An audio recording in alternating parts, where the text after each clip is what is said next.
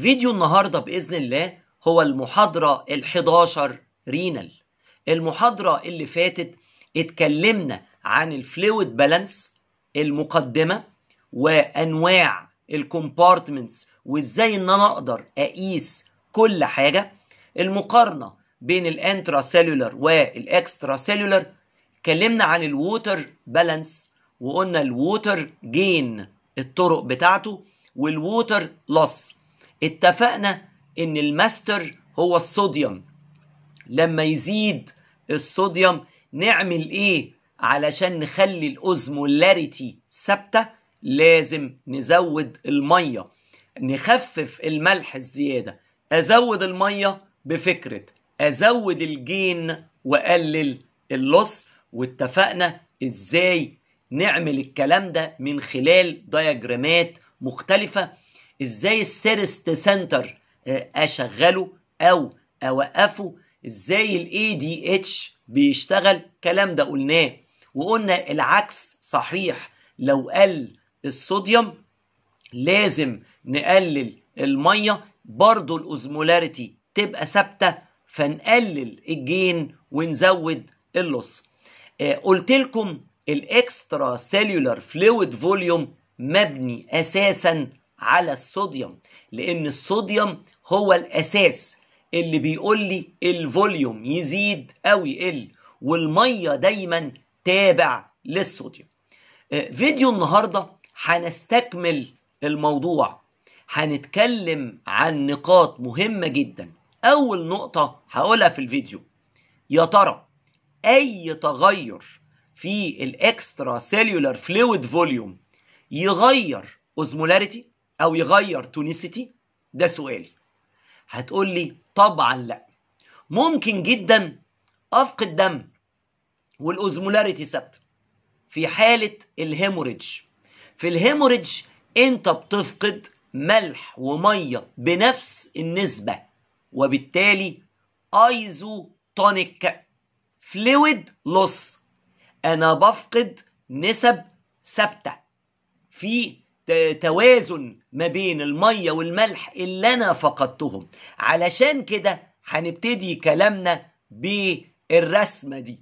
أهو isovolumetric deficit iso-osmotic volume deficit هناك نقص في الحجم ولكن osmolarity ثابتة. وطبعا ده يبان في حالة ال hemorrhage أو النزيف. هتقول لي معنى الكلام ده؟ إن المية لا هتدخل جوه ال cell ولا هتخرج منه. ده عادي جدا. osmolarity intracellular و extracellular قد بعض الفيديو اللي فات قلنا إن في osmotic equilibrium ما بين ال intracellular وال extracellular 290 milliosmole per liter قلت لك إن ال membrane of the cell semipermeable يدخل مية أو يخرج مية. طب بنفس المنطق ينفع يزيد ال fluid في ال extracellular وال osmolarity ثابتة؟ أقول لك آه. لو أنا علقت لك محلول isotonic saline ال saline ده محلول ملح.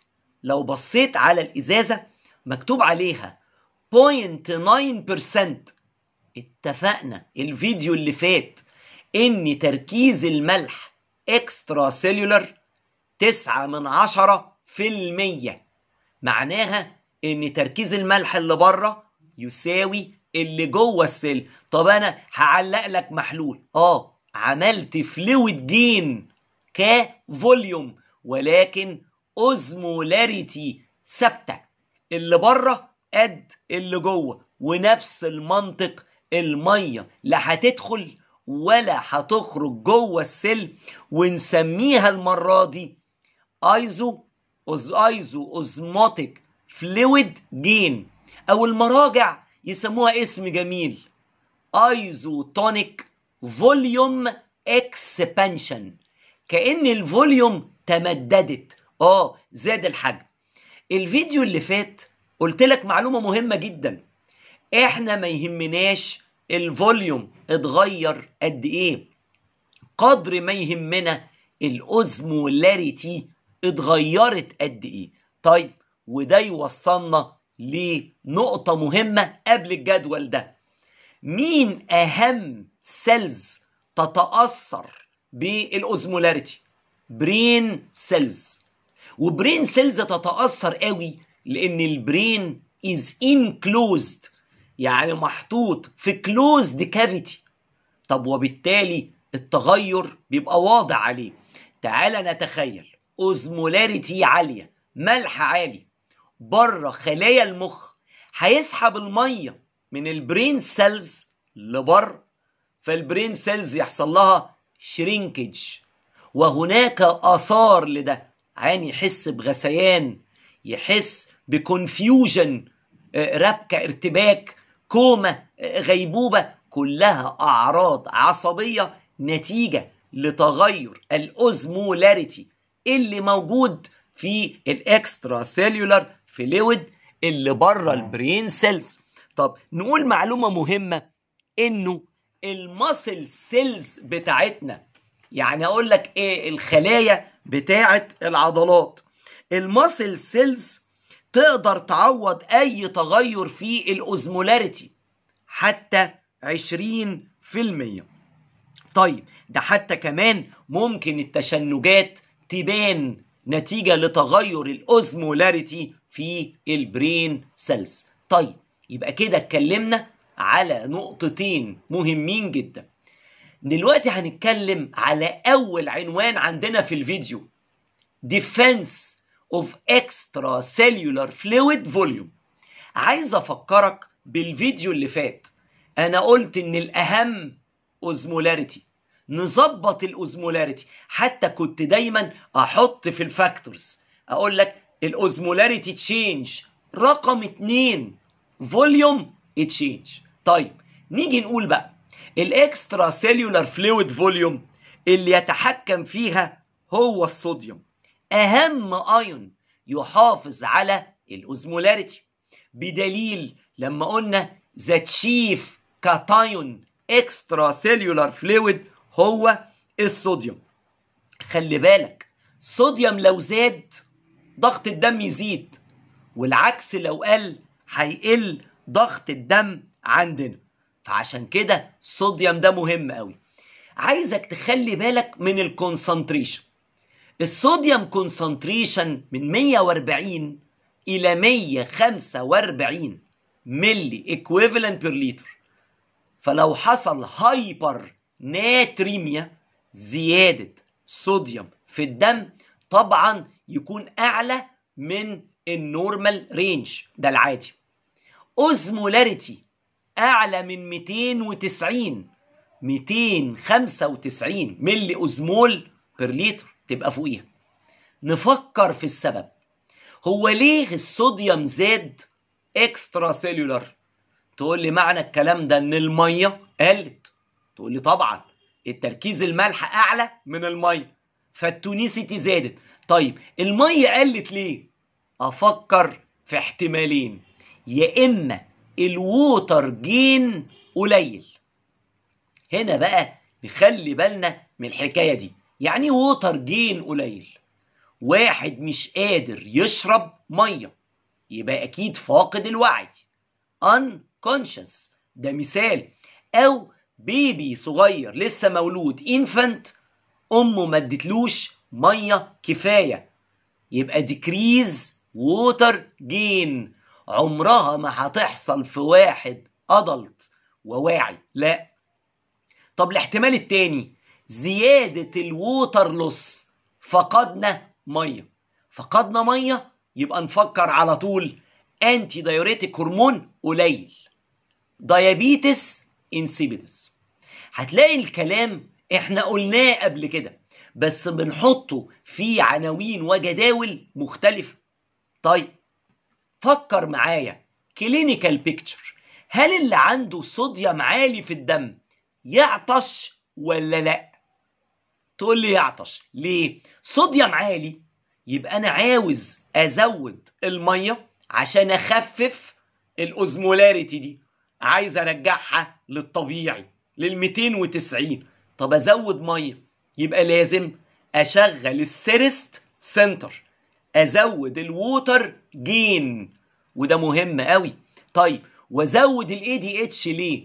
عشان أقلل ال water loss. يعني ال causes اللي حصلت قدامكم 1 and 2 أنا عايز طبعا أعكسها عايز أعكسها. طيب ده شيء طبيعي. وبيحصل muscle weakness وهنشرح فيما بعد السبب إيه. طيب إيه العلاج؟ طبعا العلاج لو أنت فشلت to compensate لازم تشرب مية. oral أو intravenous حسب صعوبة الحالة. انت عايز تعوض بمية و ADH طيب نيجي للعكس. hyponatremia. صوديوم قليل في الدم يبقى أقل من العادي من 135 طالب هيقول لي ال normal range من 140 يا دكتور ل 145 أنا كنت متوقع تقول لي hyponatremia يعني مثلا 139 أقل من أقل رقم بحاجة بسيطة. لا دايما بيبقى في range range ده بمعنى 10% أقل أو 10% أعلى. يعني مش على طول أول 1 milliequivalent أقل نقول يبقى hyponatremia وال osmolarity أقل من 275 milliosmole per liter تقول لي تمام. طيب السبب بقى لما الصوديوم يقل extracellular ده معناه العكس المية زادت خففت ال osmolarity مية زادت يعني زاد ال water gain. هنا طالب هيسأل طب ما هو لما الم... لما أشرب مية كتير طب ما يا دكتور بيحصل diuresis هفقد المية الزيادة في ال urine. طب إزاي بقى في gain؟ لا أنت بتشرب وما بتفقدش. ال kidney فيها مشكلة. أنت عندك anuria. an يعني مفيش و uria يعني بول. مفيش urine. اشرب واكسب مية ومش هتفقدها. أو السبب التاني إن ال water loss قليل. أنا ما بفقدش مية. المية العالية دي لأن ال ADH عندي شغال جامد طبعا. عشان كده clinical picture الراجل ده المريض ده ما يعطش. لأنه أنا مشكلتي المية زيادة. خلي بالك في mechanism قلتها في endocrine والفيديو اللي فات. علشان أعطش مبنية على osmolarity عالية. ما هو osmolarity عالية. ملح عالي. هيسحب مية من ال cells يحصل لها shrinkage مش هنستنى لغاية لما تكش. فالحجم يبقى لازم نشرب مية ونعوض. كلام اللي قلناه دياجرامات lecture 10 الوضع اتغير. osmolarity أقل. فال osmoreceptors ما اشتغلش. اشتغل إزاي اللي في ال hypothalamus فما شغلش.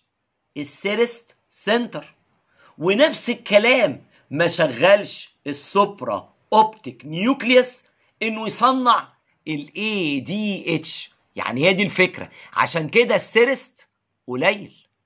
وفي confusion ودي مهمة جدا. ليه بقى؟ لأن أنت هتدخل مية جوه ال cell.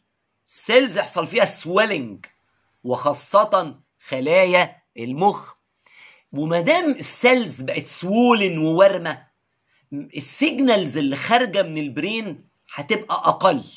سيطرة البرين على الجسم أقل. فيبقى في نوع من التبلد أسميها apathy متبلد. متبلد يعني مش عايز يتحرك مش عايز يشتغل. lethargy وفي كسل في الحركة لأن ال muscle علشان تتحرك محتاجة action potential يجي لها من ال cortex بإشارات معينة. زي action potential يتنقل وال brain cells are swollen كلام ده في منتهى الأهمية. العلاج العكس.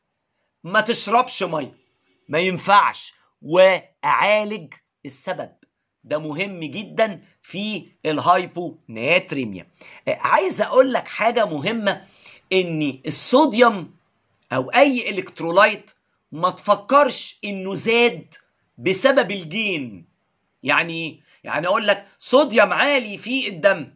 فواحد يقول لك ده بياكل أكل مملح كتير مخللات كتيرة.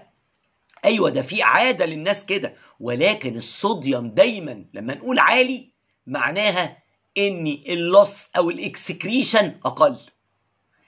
إحنا ما عندناش center في ال brain زي المية. المية في حاجة اسمها water gain thirst center هعطش أشرب مية أعلي المية في دمي. أما الملح لا.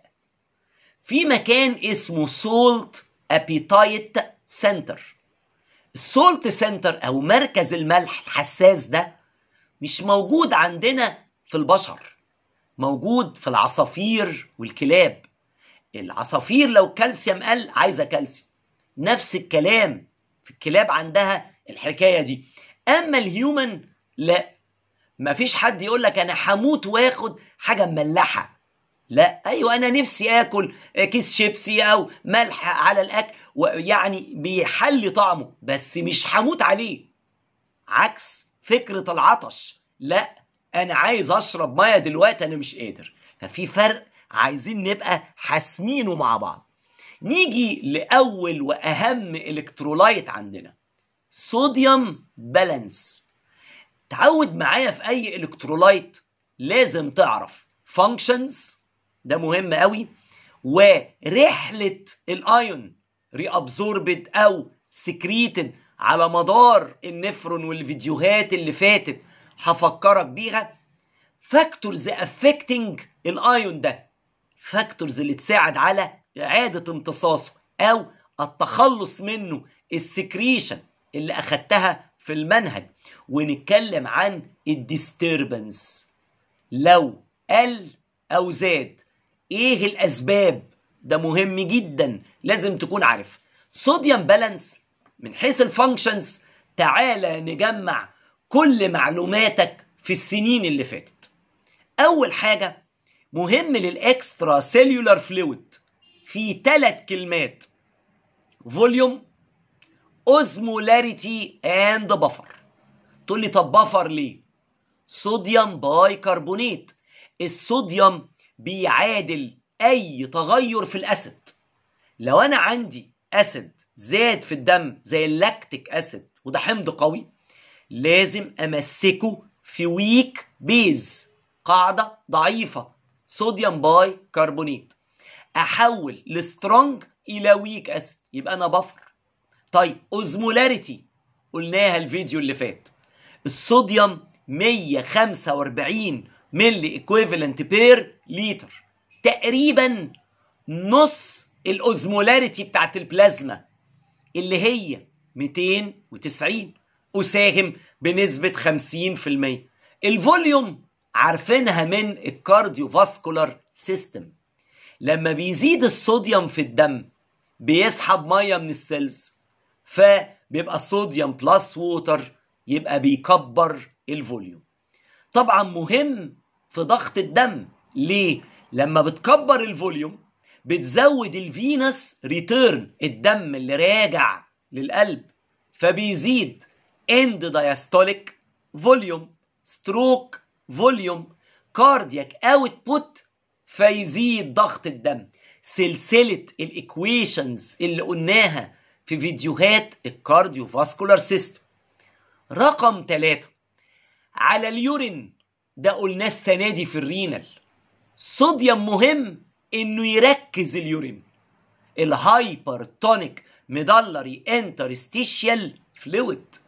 ما أنا اللي هسحب المية من ال collecting duct ده مهم قوي وأنا اللي هدخل المية الزيادة في ال ascending vasa recta وهخرج لل interstitial fluid للحفاظ على تركيز الملح. يبقى عالي اللي بناه ال loop of Henle الكلام ده قلناه.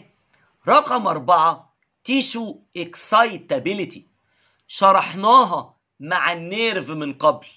قلنا الصوديوم لما يدخل بيعمل depolarization في ال membrane of the nerve ويوصلني لل firing level وهو المسؤول عن ال amplitude أو ارتفاع ال action potential رقم خمسة قلناها السنة اللي فاتت introduction والسنة دي نقل الجلوكوز.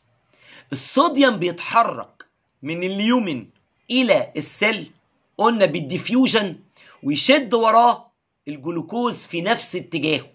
وقلنا إن نقلة الجلوكوز من ال lumen إلى ال cell تعتمد على شيال اسمه sodium glucose transporter 1 SGLT 1 يبقى إذا نقلة الجلوكوز تعتمد على الصوديوم فإذا دول الخمس فوائد. عايز أقول لك النهارده الصوديوم ك balance هنتكلم عليه بطريقتين. طريقة ال milliequivalent تمام؟ وطريقة ال percentage فاكر لما اتكلمت عن ال water handling في الفيديو التاسع؟ قلت لك ال water handling قول لي النسب زائد قول لي كام لتر بلازما هينزل في الفلتر؟ ونحسبها بالطريقتين. طيب sodium balance ال distribution 4000 milliequivalent ال 4000 milliequivalent ملح متوزعين في ثلاث أماكن. 2100 extracellular fluid ده مهم. ما إحنا قلنا أهم كتاين 1100 في العظم. والباقي cellular fluid طبعا إن أهم كتاين جوه ال cell هو البوتاسيوم وليس الصوديوم. طب إحنا بنتكلم النهارده عن salt balance توازن الملح اللي داخل input قد اللي خارج. بمعنى لو فرضنا إن أنا أخدت 10 جرام ونص ملح في اليوم يبقى ال output هفقد. تقول لي 10 جرام ونص. ما هو اللي داخل يساوي اللي خارج هو ده ال balance. كفة الميزان الطبيعية. طيب أنا ال output هينزل في ال urine 10 جرام. وفي ال sweat العرق وال feces نص جرام. 10 زائد نص يساوي 10 ونص جرام. في معلومة مهمة أنا عايزك تبروزها معايا. لو أنت ما كلتش ملح خالص خالص معظم أكلك salt free diet ما تقلقش. برضو ملحك متظبط.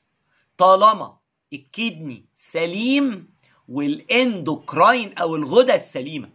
الغدد أنا قصدي ألدوستيرون اللي طالع كهرمون من غدة ال adrenal cortex.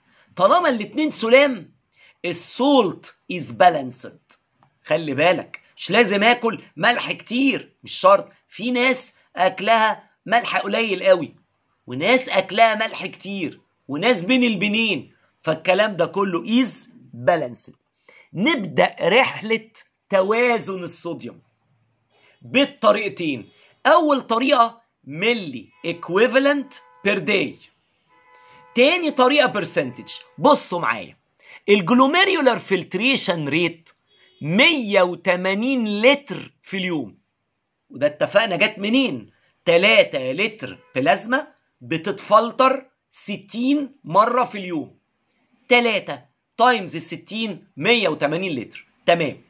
الصوديوم ك concentration تمام Na P اللي هو في البلازما 140 milliequivalent per لتر أنا اديتك رقمين. اديتك تركيز الصوديوم وال volume of the filter اللي نازل فيه الصوديوم. فطالب قال لي طب وأنا أستفيد إيه؟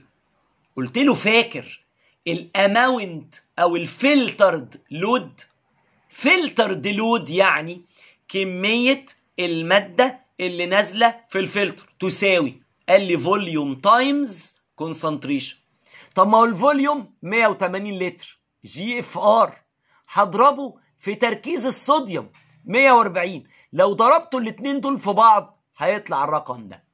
25200 milliequivalent صوديوم في اليوم طيب أنا عايز مصيرهم. بص بقى هنروح لل proximal tubule 67% من الرقم ده يحصل له reabsorption هيمتص. ال 67 أو ال 65% من ده 16800 milliequivalent ننزل مع بعض. هنا في ال descending loop of Henle هل يا ترى الصوديوم بيمتص؟ تقول لي لا. طب نطلع بقى في ال ascending loop of Henle الصوديوم بيمتص شوف فطلعنا سهم اهو من ال thick ascending ده مهم جدا. وقلنا 25% يمتص يعني 6300 لو انت جمعت 67 و25 تقريبا 92% باقي 8% تقول لي لا ده باقي 7% لأن في 1% على الأقل هيبقى excreted طيب نيجي بقى للخمسة في المية. filtered load من الصوديوم. reabsorbed في ال late distal tubule اللي هي الألف وميتين. تمام؟ ثم بعد كده نسب قليلة في collecting duct طيب اللي هينزل في ال urine ك volume 1500 ml في اليوم. تقريبا لتر ونص. وتركيز الصوديوم في ال urine كام؟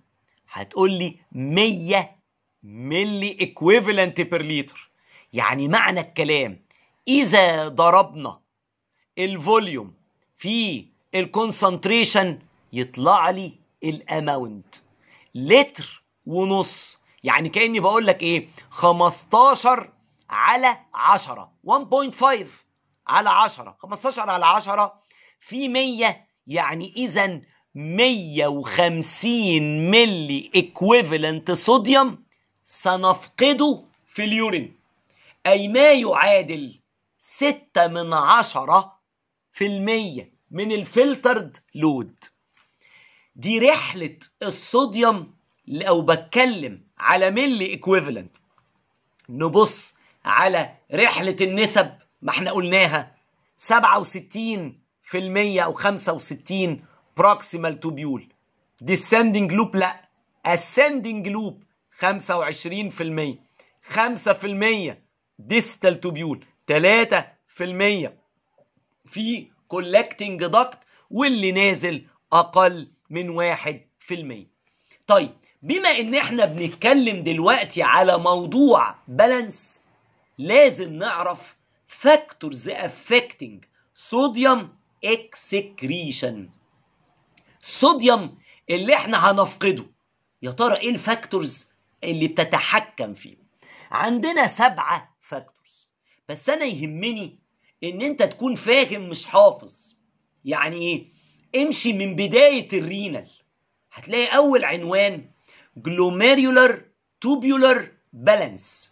تقول لي آه العنوان ده أنا فاكر إن إحنا قلناه مع الصوديوم absorption فاكر ال factors اللي بتأثر في امتصاص الصوديوم؟ كانوا أربعة.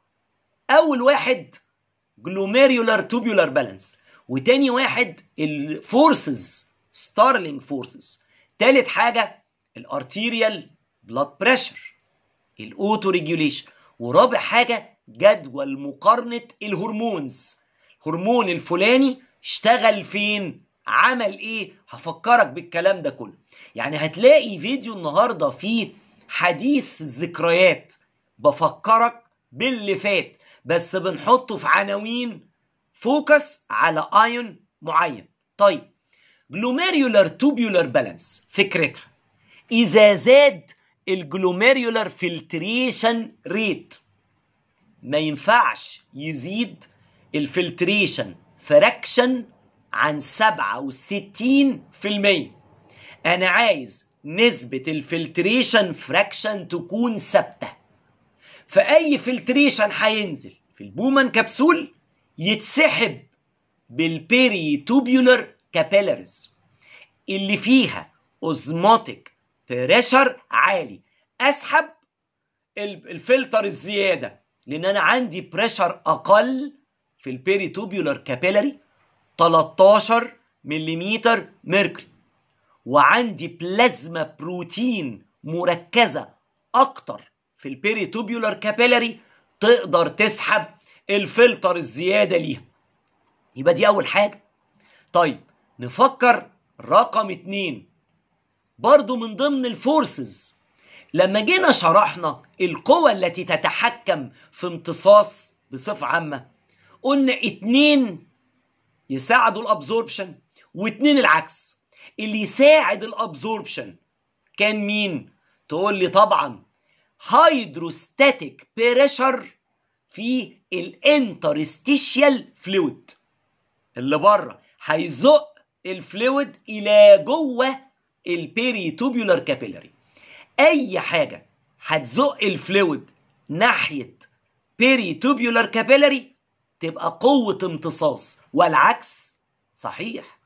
يبقى دي قوة امتصاص وفي قوة تانية ال osmotic pressure of plasma protein اللي جوه ال capillary هتسحب مية ناحيتها. طيب العكس القوة بقى. طب لو كان peritubular hydrostatic pressure يعني قوة جوه ال peritubular capillary تزق ال fluid لبره يبقى دي opposing force قوة عكسية. لو زادت هيقل الامتصاص يحصل excretion أو ال osmotic pressure إن في plasma protein موجود في ال interstitial fluid إذا كان موجود عالي هيسحب المية لبرة يبقى opposing force الكلام ده قلناه. حتى لما جمعنا القوى اللي بتساعد ال absorption لقيناهم 38 والقوى العكسية 28 قلت لك وقتها الفرق بين القوتين يساوي 10 ملم mercury اسمه net absorption pressure محصلة النهائية للامتصاص. طيب نيجي بقى لرقم ثلاثة sympathetic activity. هوري لك ال sympathetic ونرجع تاني. ال sympathetic دوره إيه؟ يساعد على امتصاص الصوديوم. تعال نفكر بالعقل ومن غير حفظ. انت عايز الصوديوم يبقى absorbed يبقى معنى كده لازم ال filtration يقل. آه. طب هو مين اللي مسؤول عن ال filtration؟ glomerular capillary pressure طب وهي بيعلى الضغط فيها إزاي؟ إن أنا أوسع المدخل. afferent arteriole لا أنا ضيق ال afferent. أضيق ال afferent. الكلام ده إحنا قلناه قبل كده عن طريق ال angiotensin ده مهم. إزاي اضيق ال afferent طيب في حاجة تانية. انت ضيقت ال afferent يبقى انت قللت ال renal blood flow. وده مهم جدا. وطالما قللت ال renal flow يعني قللت الدم اللي ماشي في ال renal artery وال interlobar و interlobular السكة دي كلها وقللت الدم اللي راح لل efferent arteriole. طب هو مين امتداد ال efferent arteriole؟ تقول لي peritubular capillary يعني أنت قللت الدم اللي داخل في ال peritubular capillary يبقى قللت قوة ال hydrostatic pressure اللي عنده. طب ما هو ال hydrostatic pressure اللي جوه ال capillary هتزق ال fluid لبره. تبقى قوة تعكس الامتصاص. يبقى opposing to absorption. طالما أنا قللتها يبقى أنا عملت العكس. زودت ال absorption شوف كل دي أفكار. طب mechanism ثالث طالما ال sympathetic بيشتغل يعني بيشغل ال juxtaglomerular apparatus اللي من ضمنها cells juxtaglomerular cell اللي بتطلع renin فال renin يزود ال aldosterone ال mechanism اللي كلنا عارفينه يحول angiotensinogen ل angiotensin 1 و angiotensin 1 ال angiotensin 2 ال2 ده هو اللي بيشغل الالدوستيرون إنه يتفرز. والالدوستيرون مشهور. بيعمل sodium absorption. لأن هو خلي بالك بيشتغل على ال principal cells ال P cells فيعمل sodium absorption وفي المقابل potassium secretion طبعا ال mechanisms دي بتشتغل أساسا لو عندك hemorrhage ضغط دمك قل. عاوزين نحافظ على الصوديوم. يبقى السمباثيك اشتغل بطرق ولو تلاحظ الطرق كلها ليها علاقة ببعض. يعني أنا عايز اضيق الأفرنت. طب ما عن طريق الأنجوتنس. اللي مين كونه عن طريق الرينين. يبقى دي هنا معلومة عن الرينين ومعلومة عن الأنجوتنسين. ثم قللت الفلو. يبقى معلومة على ال hydrostatic pressure في ال peritubular capillaries نرجع لكلامنا. طيب ألدوستيرون طبعا يزود sodium absorption فيقلل إخراجه. نيجي بقى للنقطة الخامسة. بس قبل الخامسة عايز أقول لك إن ال angiotensin 2 بيشتغل على ال proximal tubule direct وعلى ال distal tubule indirect فطالب يقول لي طب ليه اشتغل على ال distal بشكل غير مباشر.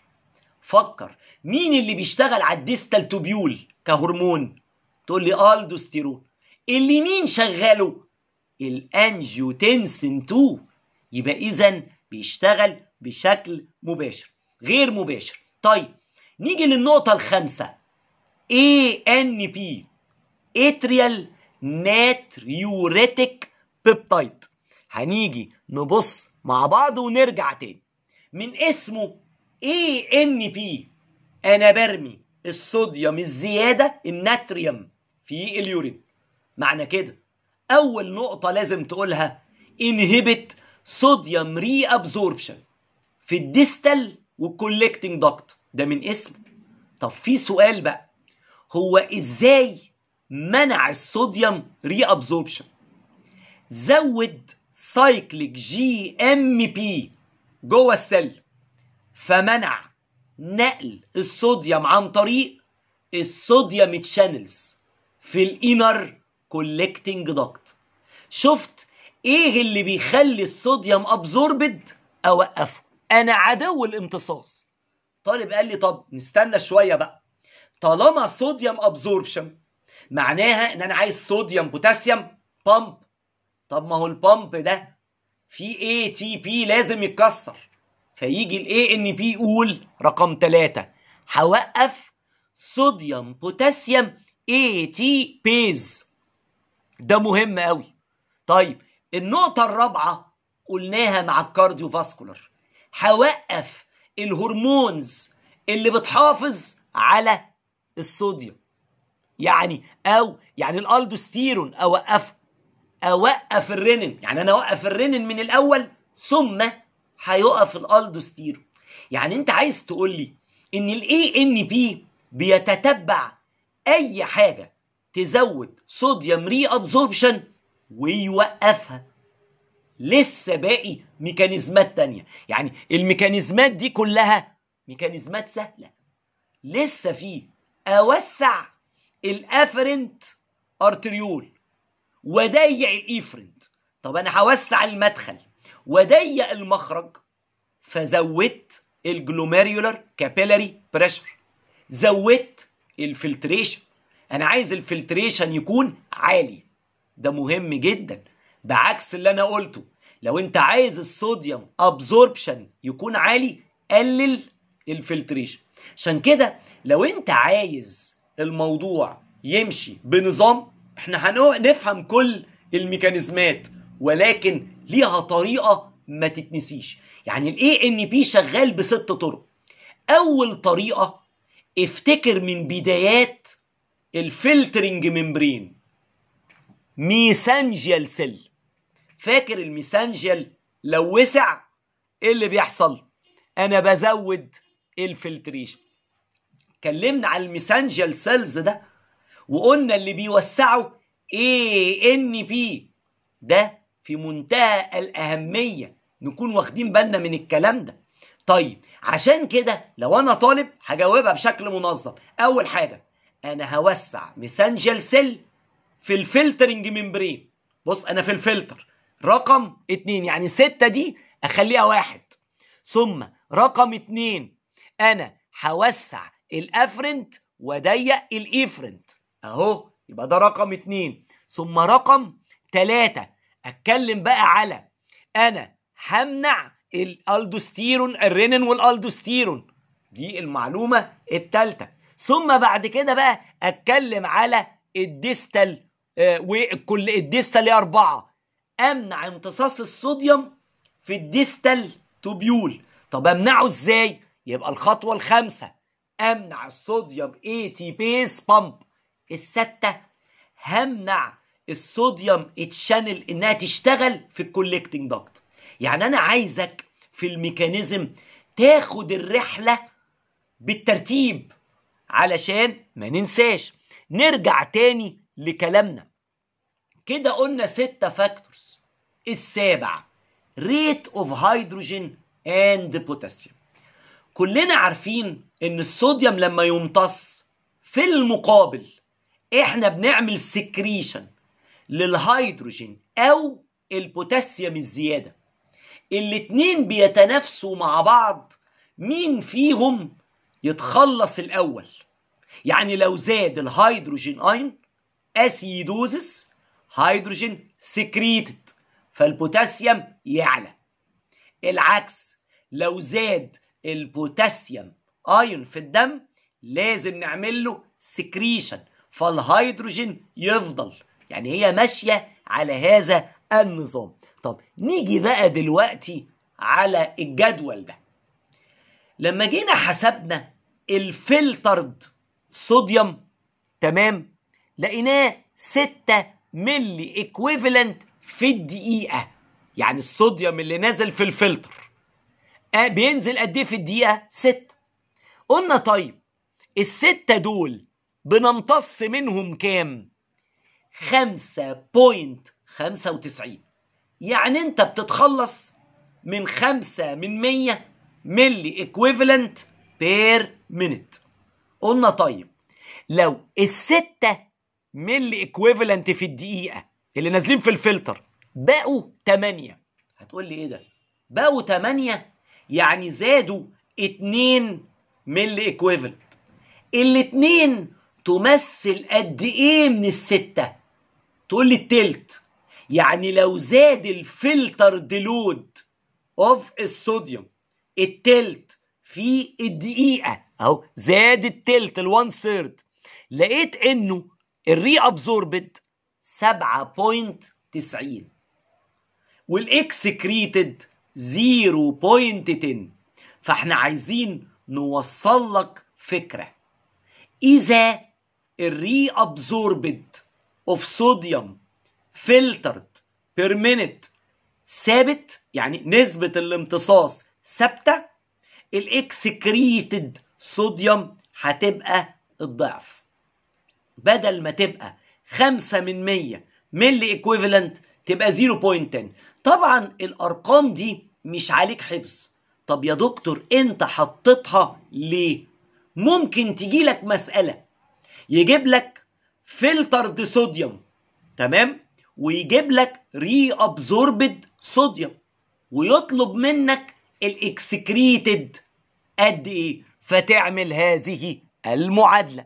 طيب نيجي بقى دلوقتي على الرسمة دي. هقدم لكم مجموعة diagrams الدياجرامات دي الهدف منها تتخيل الكلام اللي إحنا قلناه بسرعة. بص معايا. نفترض ال volume زاد extracellular fluid volume زاد وراح لل atrium. يعني ال venous return لل atrium عالي. كلنا عارفين إن ال atrium فيها stretch receptors فيها volume receptors طب ال atrium تعمل إيه؟ مش عاوزة يوصل لها venous return عالي بصوديوم عالي. فراحت ال atrium طلعت هرمون.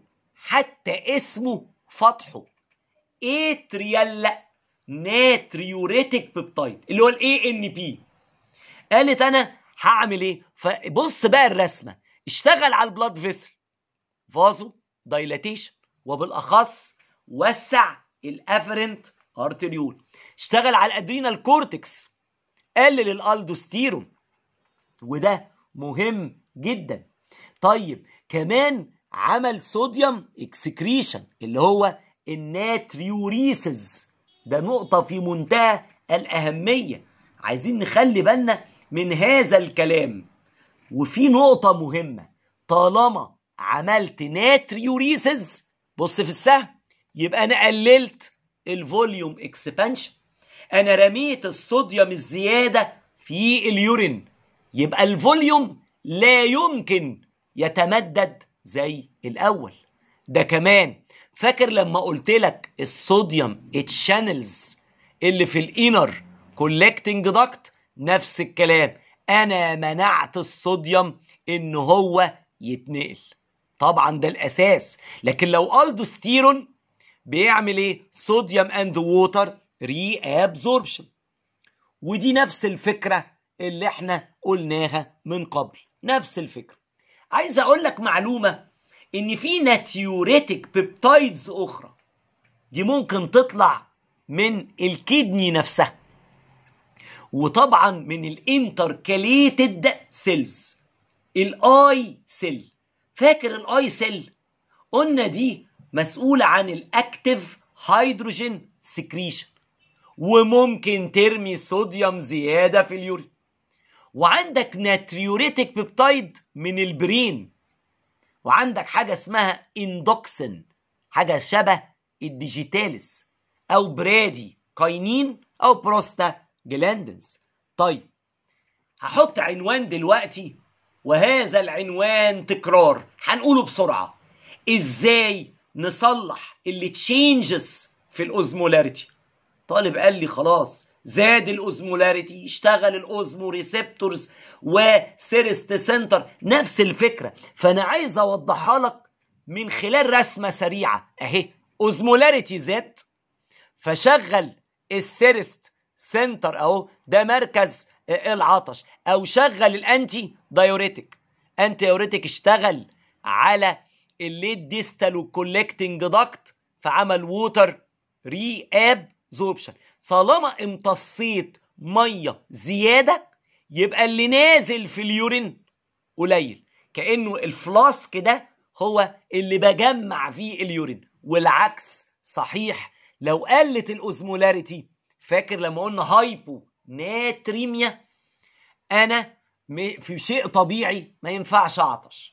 إزاي أعطش؟ والمية زيادة. فبص السهم المنقط ده معناه نوقف ال thirst center وال ADH المنقط ده معناه مش شغال. طيب إيه اللي يحصل لو أكلت ملح كتير بنفس الفكرة اللي قلناها؟ زاد ال osmolarity ويعمل إيه؟ طيب دلوقتي إحنا عايزين نتكلم على النقاط الرئيسية بقى. sodium intake قليل. قول لي اللي هيحصل إيه ك homeostasis.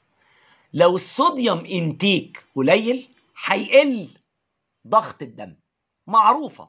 طب لما يقل ضغط الدم تتوقع ال sympathetic يشتغل؟ آه لازم ال sympathetic يشتغل لأن أنت في حالة stress. يضيق ال afferent يزود امتصاص الصوديوم. الخريطة اللي قدامكم أو ال diagram ده diagram تجميعي لكل الأفكار. طيب أنا ضغط الدم قل. هل من مصلحتي أرمي الصوديوم في ال urine؟ تقولي لا أنا عاوز أحافظ عليه. فقلل ال ANP ده مهم جدا. يعني لما ال ANP ال عكس شغله هيحصل. بدل ما ال afferent arteriole يضيق لا هيوسع. فيقل ال GFR ويزيد ال sodium reabsorption لأن أنت مش هتقدر توقف ال aldosterone وال renin. برضو لما الصوديوم يقل من مصلحتي أزود ال reabsorption بتاعه عن طريق قوة ال peritubular osmotic pressure. عايز أزود قوة ال plasma protein ال free اللي في ال peritubular capillary اللي بتسحب المية في اتجاهها. بص معايا تعددت الطرق والنتيجة واحدة. عاوز أزود ال sodium absorption. وشيء طبيعي renin angiotensin system هيشتغل عن طريق إن في renal ischemia ويطلع رينين يحول angiotensinogen ل angiotensin 1 وال1 لل2 وال2 يشغل الالدوستيرون وكل الطرق دي اشتركت في فكرة نقلل ال sodium excretion بالنسبة لنا.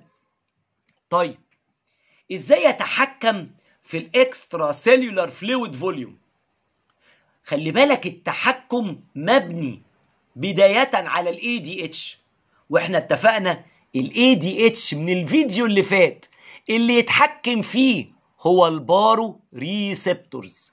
أما اللي يتحكم في ال thirst هو ال thirst center. فده مهم قوي. ال heart receptors هي اللي بتبعت إشارة لل hypothalamus مصنع ال ADH ثم مخزن ال ADH يطلع ADH ويشتغل. وطبعا لما ال ADH يشتغل ويزود ال blood volume بص هيرجع ال volume للطبيعي وبالتالي inhibit the decrease in volume بمعنى هنرجع الأمور لطبيعتها. فكرة ال negative feedback اللي شرحناها في ال homeostasis introduction سنة أولى. أنا حجم الدم قل الضغط قل لا أنا عايز اعليه طبعا. وطبعا دي رسمة واضحة. ده ال supraoptic. ده ال osmoreceptor. ال osmo أهو. يشغل supraoptic. معايا؟ بالسهم. أهي. وال supraoptic مصنع ال ADH سهم. يشغل ال posterior lobe. مخزن الاي دي اتش فيطلع الاي دي اتش بالنسبة لنا. أو بص بقى كلام تاني. أو ال receptor اللي في ال heart. ال baroreceptor. اللي حس إن الضغط قل في ال diagram اللي فات. يبعت إشارة لل vasomotor center. وال vasomotor center يبعت الإشارة أهي بتاعته. بص تتبع ال vasomotor. روح مشغل مين؟ ال supraoptic nucleus. كلنا شبكة واحدة. مصلحة مشتركة. هتقول لي ليه؟ إيه اللي دخل ال vasomotor center في ال antidiuretic hormone؟ بمنتهى البساطة. أنا vasomotor. يعني أنا بضيق ال vessel طب وال antidiuretic hormone اسمه التاني إيه؟ تقول لي فازو بيرسن بيضيق ال vessel. بما ان إحنا الاتنين بنعمل شغل واحد طب ما نشجع بعض. عشان كده ال vasomotor هيشغل ال supraoptic مصنع ال ADH عشان يطلع ADH ويعمل vaso constriction ولما يضيق ال vessel أو ال vein يزود ال venous return فيزود end diastolic volume ثم stroke volume ثم cardiac output فيعلى ضغط الدم back to normal هو ده النظام بتاعنا. طبعا دور ال kidney قلناها وادي ال renin angiotensin system وطبعا ال diagram ده قلنا علاقته إيه بال volume ال thirst؟ ال thirst في النص وكله بيشغله. osmoreceptor baroreceptor dryness of mouth and throat renin angiotensin. طبعا ال ANP اتكلمنا عليها. عايز دلوقتي أتكلم في آخر جزئيتين في ال sodium balance. sodium intake قلنا ال salt appetite center is poorly developed. Stimulated ب hyponatremia و hypovolemia. طيب sodium excretion إيه اللي يتحكم فيه؟ طبعا اتكلمنا بكل التفاصيل. glomerulotubular balance أو juxtaglomerular apparatus أو baroreceptor آخر جزئية هو disturbance of sodium balance. تعالى بقى نتكلم بشكل بسيط. في خلل في الصوديوم. بعد ما فهمنا functions of sodium والصوديوم ك filtered load milliequivalent per day كيفية التعامل معاه أو ك percentage وعرفنا ال filtered sodium وال reabsorbed وال excreted في الدقيقة. واتكلمنا على ال factors affecting sodium excretion السبعة. اتكلمنا على extracellular fluid volume والتحكم فيه مرة تانية من خلال ال diagramات عشان تبقى الصورة واضحة. في النهاية sodium depletion و sodium retention أنا كنت قايل لو الصوديوم زاد السبب ولو قل السبب. بس هنقول دلوقتي تفاصيل أكتر.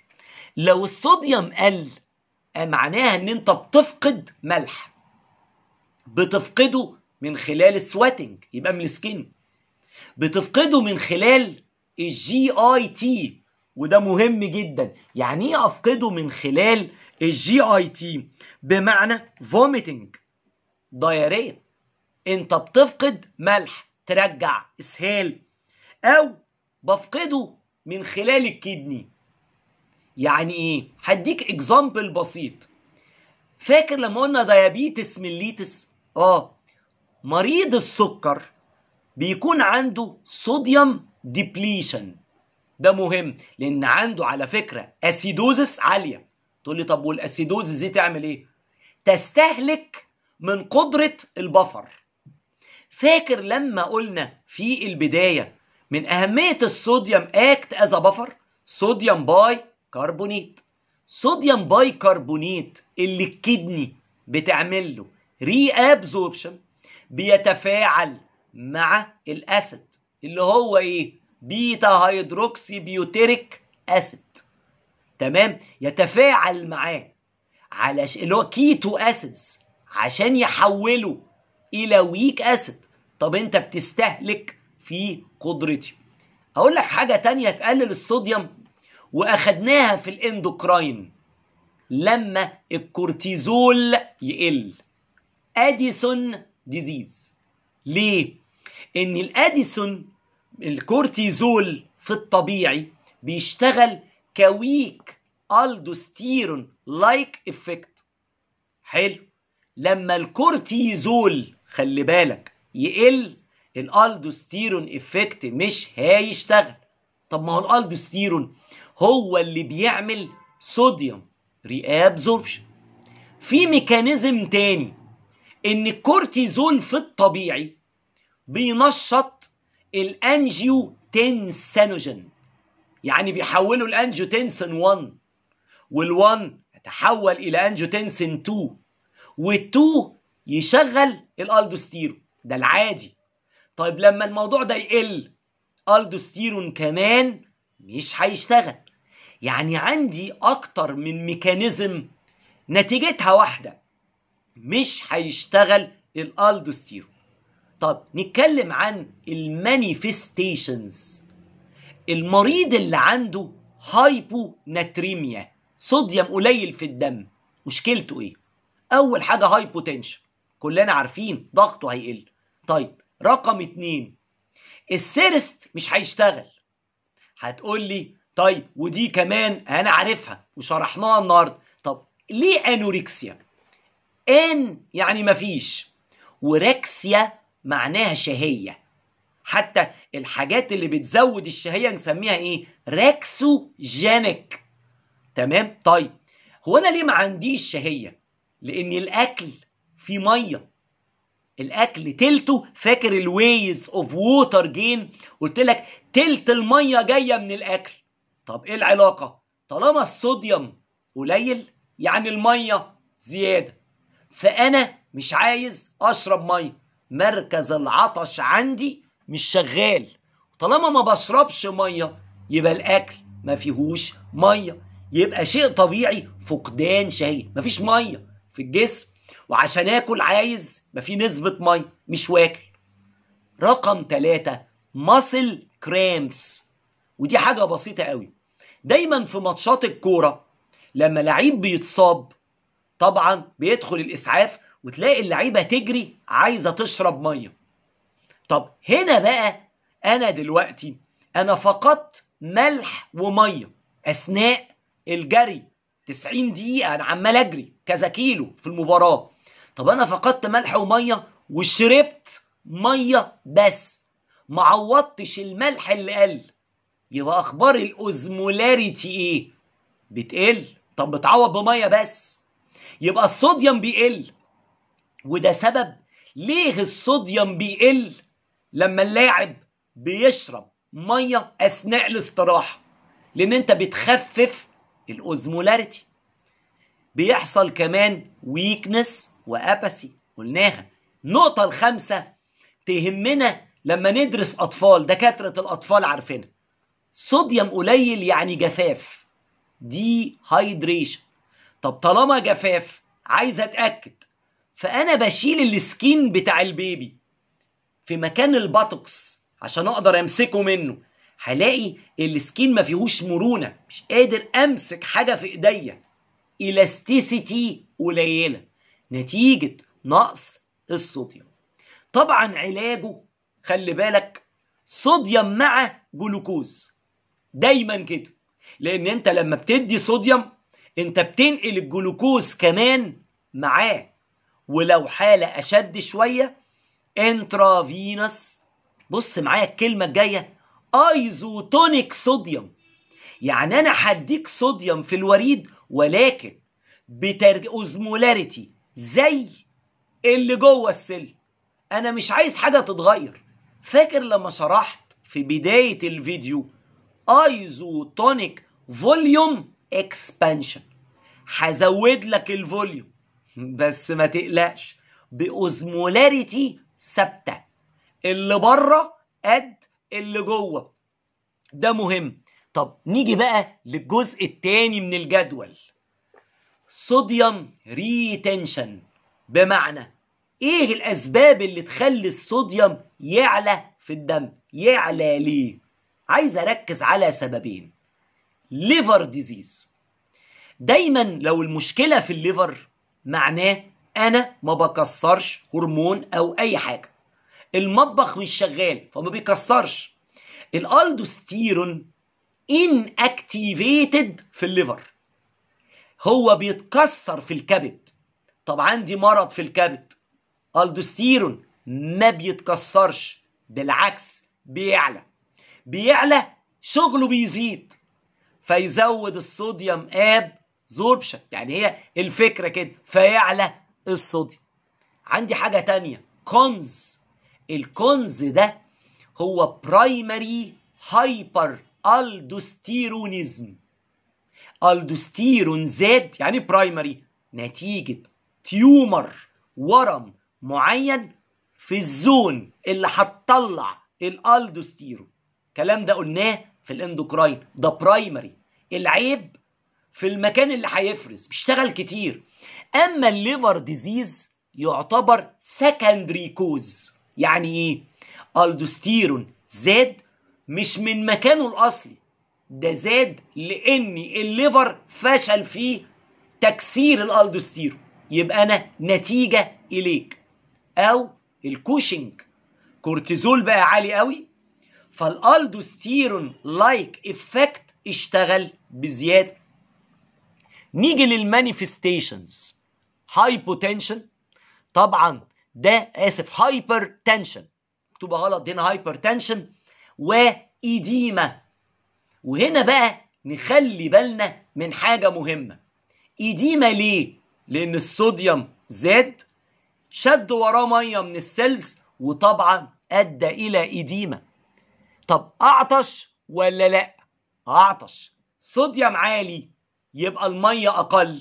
يبقى لازم نزود المية علشان نخفف ال osmolarity نقللها من 205 من فوق 295 إلى 290 العادي. و weakness طبعا العلاج نقلل الصوديوم intake طيب نيجي للنقطة التانية أو ال electrolyte التاني الهام. potassium balance زي ما اتفقنا. في أي electrolyte عندنا لازم نبدأ بال functions بوتاسيوم مهم جدا في السل. كفوليوم وجروس وإنزيمز. ده مهم قوي في enzymes بنحتاجها في الميتوكوندريا تعتمد على بوتاسيوم electron transport chain شغل biochemistry أكيد سمعتوا عنه. رقم اتنين resting membrane potential قلناها مع فيديوهات ال nerve السابقة. ال resting membrane يعتمد أساسا على البوتاسيوم. حتى لما جينا شرحناها قلنا Nernst equation ارجع لفيديو ال nerve. حتى قلت لك selective permeability ال membrane of the nerve يخرج البوتاسيوم أكتر ما يدخل الصوديوم بنسبة 50 ل 75 مرة.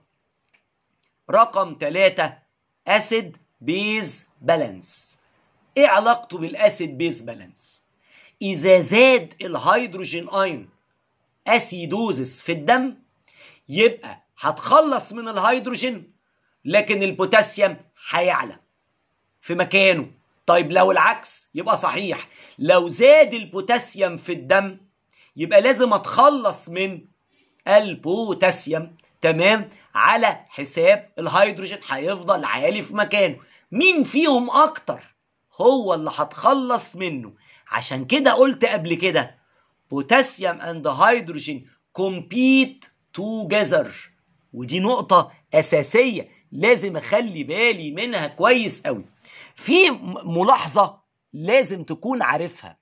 يا ترى الألدوستيرون لو اشتغل يعمل acidosis ولا alkalosis؟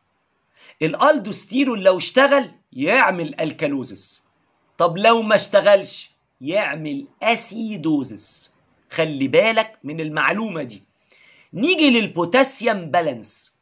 زي ما قلت في الصوديوم فاكر ال 4000 milliequivalent ووزعناهم 2800 extracellular 1100 في العظم الكلام اللي إحنا قلناه ده. طيب البوتاسيوم 3500 ملي مول بتاخد كل يوم 100 ملي مول واتفقنا؟ balance بمعنى اللي هاخده قد اللي خرجه. يعني اللي انت هتخرجه ك output 100 برضه. متوزعين.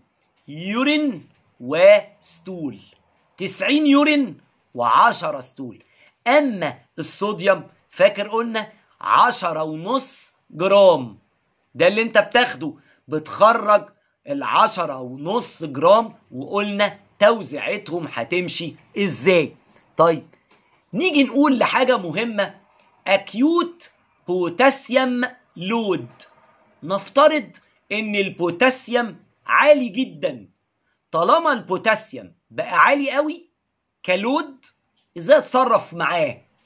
هتخلص من 50% في ال urine والخمسين في المية يدخلوا جوه ال cell. خلي بالك الخمسين في المية اللي هتتخلص منهم دول اللي هينزلوا في ال lumen يبقى الالدوستيرون لازم يشتغل. ده على سبيل المثال. طب في المية؟ إزاي ادخله جوه ال cell؟ ارجع افتكر معايا endocrine. إحنا قلنا إيه؟ قلنا إن الإنسولين بيدخل جلوكوز ومعاه بوتاسيوم. يعني بيدخل الاتنين جلوكوز يدخل ولازم البوتاسيوم يدخل كمان معاه. ده مهم جدا. عشان كده الانسولين بيتفرز في حالة ال hyperkalemia لو علي البوتاسيوم في الدم انسولين يطلع. يدفنوا جوه ال cells. فالكلام ده لازم تخلي بالك منه. طب تعالى بقى نفكر بعض بذكريات فيديوهات ال proximal tubule وال loop of Henle البوتاسيوم كان بيمتص في مكانين. 70 أو 80% يعني هي 80% تقريبا من البوتاسيوم absorbed في ال proximal tubule وتعالى أفكرك باللي أنا قلته. قلت لك البوتاسيوم بيبقى ممتص early proximal و late proximal ده مهم جدا. عشان كده هاجي للرسمة تمام؟ علشان تفتكر معايا البوتاسيوم. أهو. ده ال proximal tubule cell بوتاسيوم كان بيتحرك إزاي؟ لو أنا في هنا negative charge موجود البوتاسيوم في ال lumen كان بيتشد لل negative charge والكلام ده كان دايما بيحصل لو الكلورايد اتحرك. فاكر ال late proximal tubule البوتاسيوم يتشد ورا الكلورايد. اما في ال early كان تابع للصوديوم. ده كان نسبة 80% هتقول لي طيب وبالنسبة لل ascending loop of Henle ال thick ascending loop اتفقنا إن في شيال ثلاثي صوديوم بوتاسيوم اتنين chloride co-transporter كنا بننقل التلاتة دول. بس في حاجة البوتاسيوم كان بيرجع مرة تانية إلى اليومن يرجع للسيل ومن السيل إلى اليومن اللي هو ال back leakage. لما البوتاسيوم كان بيرجع مرة تانية لل lumen of thick ascending loop of Henle كان بيزود ال positive charge جوه ال lumen فاكر مين ال positive كالسيوم. ومغنيسيوم يعلي تركيزهم قوي. ولما يعلوا تركيزهم في ال lumen كانوا بيتحركوا أو reabsorbed على هذا الأساس من ال lumen إلى ال interstitial fluid وال peritubular capillary. وفكرك برقم. بوتاسيوم لما رجع لل lumen زود ال voltage اللي جوه ال lumen of thick ascending loop خلاها زائد 8 ملي فولت النهارده فيديو النهارده فيديو ذكريات. افتكر معايا اللي أنا قلته بس إحنا بنعمل تسليط ضوء على electrolyte محدد وده مهم جدا. طب تعالى نجمع أرقامنا وجنبنا الورقة والقلم. 80% من الصوديوم من البوتاسيوم آسف. absorbed في ال proximal tubule و20% من ال thick ascending loop of Henle إيه ده؟ 100% خلاص. بوتاسيوم كله تم امتصاصه. عشان كده أي excretion أي excretion وتخلص للبوتاسيوم هيبقى جاي من الباقي. distal tubule و collecting duct وده مهم جدا لازم تعرفه. طبعا اللي ينظم البوتاسيوم excretion ال dietary طبعا دي معروفه كل ما يعلى البوتاسيوم هيشتغل صوديوم بوتاسيوم pump عشان ياخد البوتاسيوم العالي في الدم يدخله طبعا جوه ال cell ويخرج الصوديوم دي الفكرة وقلنا علاقته بالهيدروجين اين ال diagram ده هو diagram معبر. إذا زاد البوتاسيوم لازم أزود ال uptake بتاعه بال principal cells وفي نفس الوقت أشغل الالدوستيرون سواء ده أو ده أنت هتزود البوتاسيوم secretion فتتخلص من البوتاسيوم. آخر جزئية في البوتاسيوم balance هو جدول المقارنة بين ال hypokalemia و hyperkalemia إيه الحاجات اللي تخليني أفقد بوتاسيوم؟ يعني بوتاسيوم قل في دمي. ليه؟ لاحظ دايما vomiting يعني ال vomiting ده يخليك تفقد صوديوم وبوتاسيوم. آه أنا بفقد البوتاسيوم بال vomitus حاجة تانية aspiration of GIT content. يعني إيه aspiration? خدت عينة شفط لأجزاء من محتويات الجهاز الهضمي. فيها بوتاسيوم سحبتها بأنبوبة. طب ما أنا كده خدت البوتاسيوم منك قللته في الدم. ممكن يبقى الفقدان من تحت. diarrhea إسهال. طب تفقد electrolytes أو بص بقى الرابعة. diuretics وعايزين نتأمل في الكلام ده. عندنا نوعين من ال diuretics نوع يحافظ على البوتاسيوم اسمه potassium sparing diuretic تمام؟ اللي هو ال spironolactone قلناه قبل كده. طبعا مش ده موضوعنا. أنا مش عاوز أحافظ. أنا عاوز أرميه في ال urine. يعني أقلله في الدم. يبقى ال diuretic التاني اللي اللي قصدي عليه loop diuretics أنا هدي دواء يمنع صوديوم بوتاسيوم اتنين chloride co-transporter إن هو يشتغل في ال thick ascending loop of Henle يفضلوا عاليين في ال lumen يوصلوا لل distal tubule مع بعض collecting duct ينزلوا في ال urine وبما إنهم أملاح هيشدوا وراهم مية. طب ما هو كده؟ ده loop diuretic يخليني أفقد بوتاسيوم. يبقى ماشي مع العنوان. hypokalemia ألدوستيرون عالي. عارفينها؟ الستة alkalosis طب ليه يا دكتور؟ تخيل نتخيل ال alkalosis ده معناه إيه؟ أنت عندك alkaline عالي. ال alkaline العالي يبقى أنا عايز أفقد بوتاسيوم وليس هيدروجين إحنا اتفقنا إن في منافسة بين هيدروجين وبوتاسيوم لو كان عندي acidosis عالية هفقد الهيدروجين وبالتالي أنت يا بوتاسيوم تعلى. بص معايا في حالة ال acidosis زاد البوتاسيوم لأن أنا رميت هيدروجين في ال lumen وسبت بوتاسيوم أما في ال alkalosis العكس.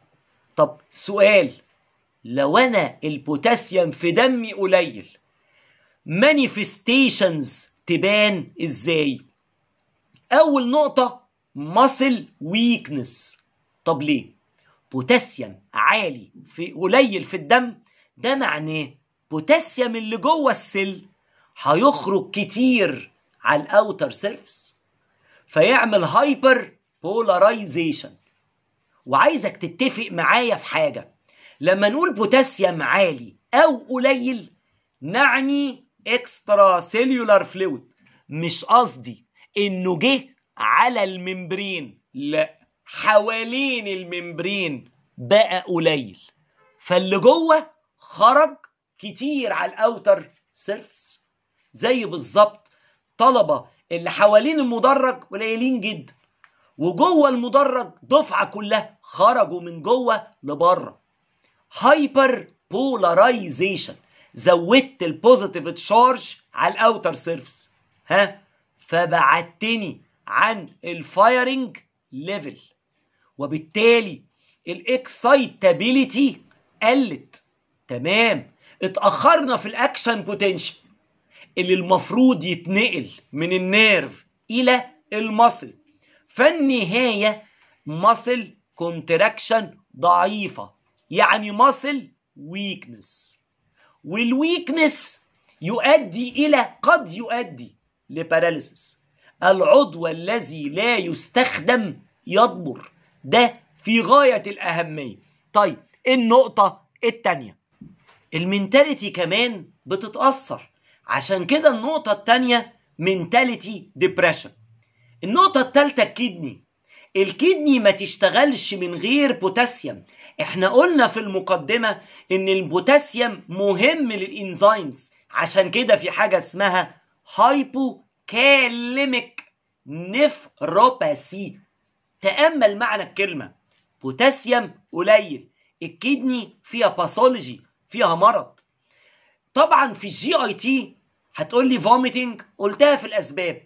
بس يا دكتور يعني إيه paralytic ileus شلل في الأمعاء.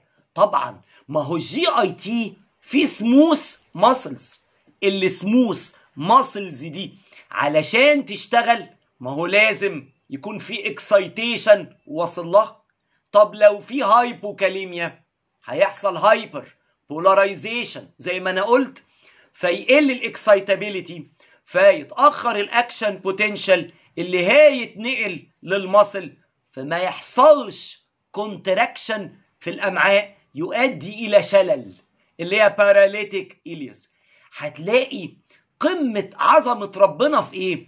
البوتاسيوم لما يقل يأثر لي في ال smooth muscle.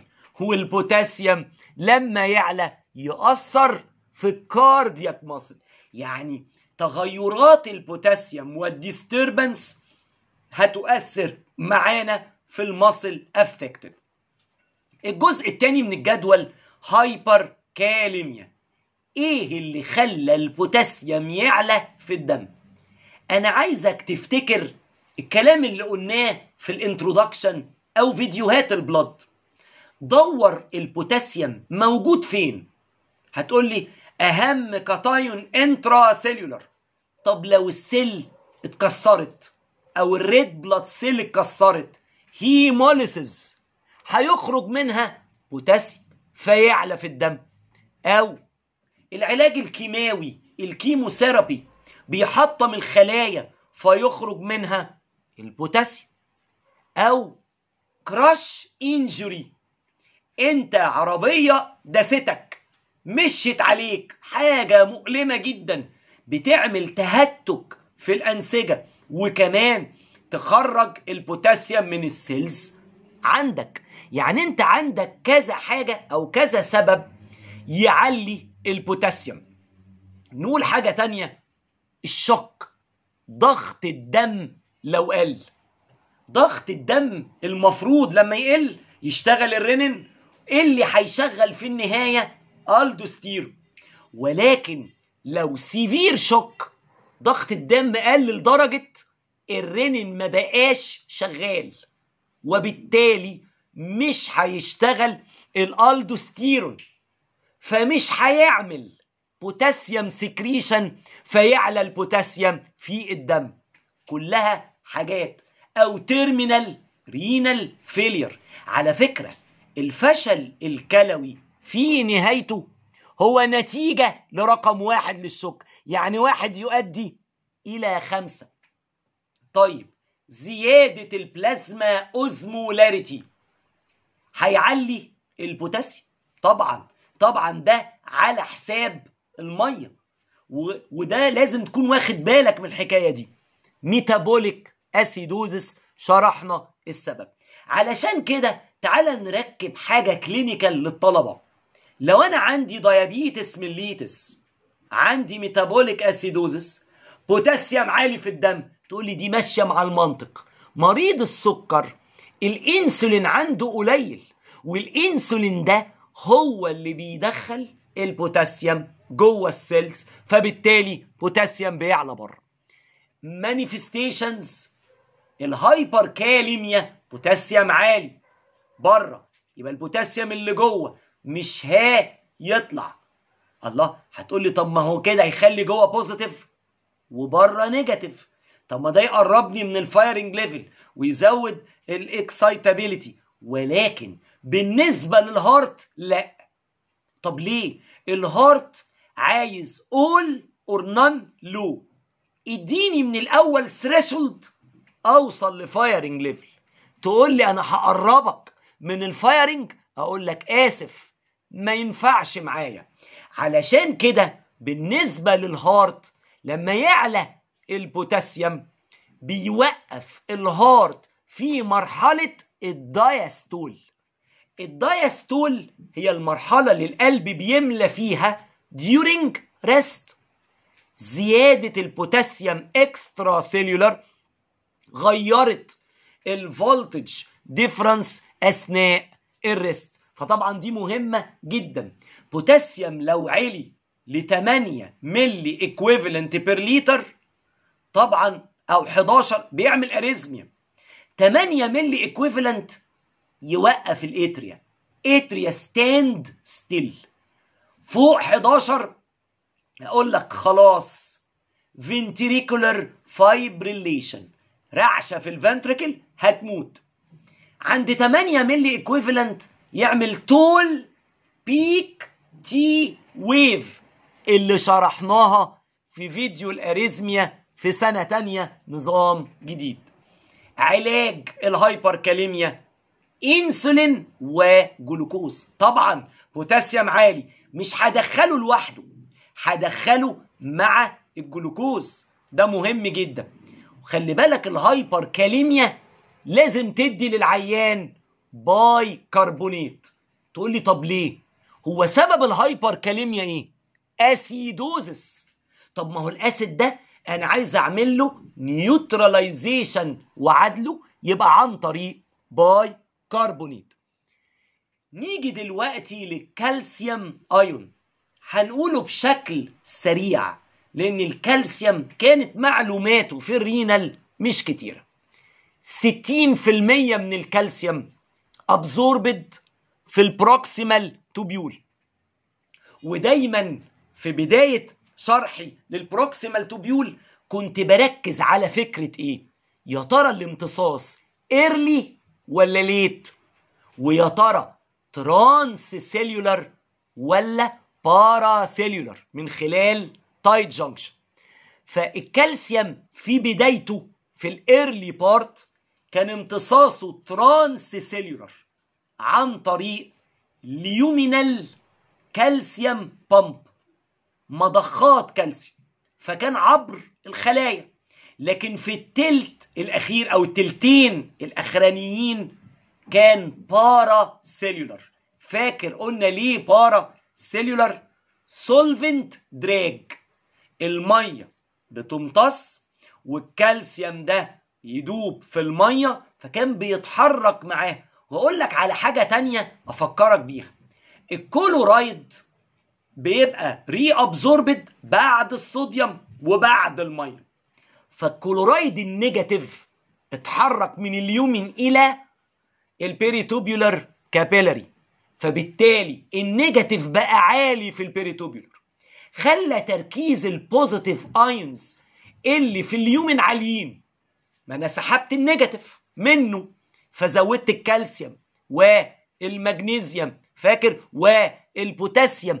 فبالتالي هم اتحركوا من ال lumen إلى ال interstitial fluid نتيجة الكلورايد السالب عمل لهم electric attraction أو تفسير تاني لأن ال concentration بتاعهم بقى عالي في ال lumen بعد ما اتسحب صوديوم ومية وكلورايد آه الكالسيوم بيمتص 30% عن طريق الشيال الثلاثي صوديوم بوتاسيوم واتنين كلورايد co-transporter في ال thick ascending loop of Henle وطبعا دايما الامتصاص paracellular إيه اللي يوقف الامتصاص؟ ال loop diuretics طب ده 60 و30 يبقى 90 باقي العشرة في المية الأخرانيين في ال distal tubule عن طريق ال thiazide بيزود ال calcium reabsorption طبعا هقول معلومة endocrine كلنا عارفينها قبل كده إن ال parathyroid hormone بيزود امتصاص الكالسيوم في ال distal tubule كلنا عارفين الكلام ده. ويقلل ال phosphate reabsorption في ال proximal tubule ده أساسيات. ودي الرسمة اللي أنا كنت بتكلم عليها. مية اتحركت رقم واحد. ثم آدي الكلورايد. والكلورايد لما اتحرك خلى ال negative موجود هنا في البلازما. وخلى ال positive يعلى في ال lumen فاتحرك الثلاثي بقى. بوتاسيوم وكالسيوم ومغنيسيوم عن طريق ال paracellular فين ال paracellular بص معايا الحتة اللي أنا حاطط عليها صباعي ده ال tight junction الكتف اللي بين cell و cell فحصل ال attraction وأدى إلى reabsorption of cations اللي هم ال positive ions اللي بتتشد للحاجة ال negative طيب وطبعا الرسمة دي عارفينها في ال thick ascending loop of Henle أهو أنا بعمل ادي الصوديوم مع البوتاسيوم مع الاتنين كلورايد وادي الشيال الثلاثي بتاعنا.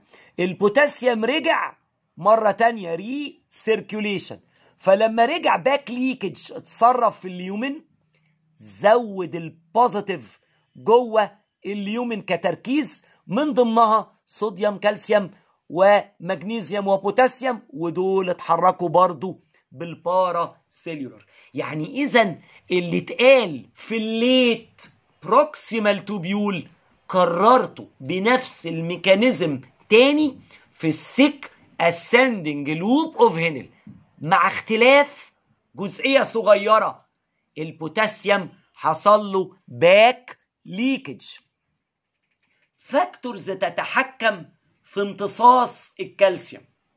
قلناها في ال endocrine. parathyroid hormone طبعا بيزود الكالسيوم absorption وال active vitamin D حتى شرحنا وقتها العلاقة بين ال parathyroid الأب و vitamin D الابن. ارجع لفيديوهات ال endocrine. ال alkalosis تزود امتصاص الكالسيوم ولا تقلله؟ دي نقطة مهمة. عايزك تفتكر معايا إن الكالسيوم بيدوب في ال acidic medium ويترسب في ال alkaline medium. الكلام ده مهم. طبعا العوامل اللي تقلل امتصاص الكالسيوم هيكونوا العكس. آخر حاجة هنقولها في فيديو النهاردة وهو ال phosphate absorption لو تفتكر في فيديو ال proximal tubule أنا شرحتها قلت لك إن الفوسفيت ليه صورتين يا إما disodium hydrogen phosphate Na2HPO4 أو sodium dihydrogen phosphate NaH2PO4 طبعا تفاصيل إمتى بينزل disodium؟ وإيه علاقته بال acid base balance هيتشرح إن شاء الله في المحاضرة رقم 13 في playlist فيديوهات renal new system هنا في القناة. بس عايز أركز على جزئيتين صغيرين في الفوسفيت. إن ال parathyroid hormone يقلل امتصاص الفوسفيت من ال proximal tubule عاوز يحافظ على الفوسفيت جوه ال lumen لأن ال lumen ده نازل فيه acids عايزين نعمل لها neutralization ده مهم قوي أحافظ عليك ك buffer. لأن لما هاجي أشرح بعد كده ال acid base balance هعرفك إن عندي ثلاث أنواع من ال buffers ال phosphate بيبقى reabsorbed بنسبة 70 إلى 80 هو تقريبا 80% المفروض إن ال parathyroid بيقلل امتصاصه من ال proximal ولكن في 15% بيكونوا absorbed في المكان ده وال excreted 15 في المية. في نهاية هذا الفيديو بفكرك بالعناوين الرئيسية اللي قلناها. هل ضروري ال tonicity تتغير مع أي تغير في ال extracellular fluid volume قلنا لأ وادينا سببين. وقلنا إن ال brain cells إزاي بتتأثر سريعا بتغير ال osmolarity حواليها. واتكلمنا عن ال hypernatremia وال hyponatremia كجدول مقارنة.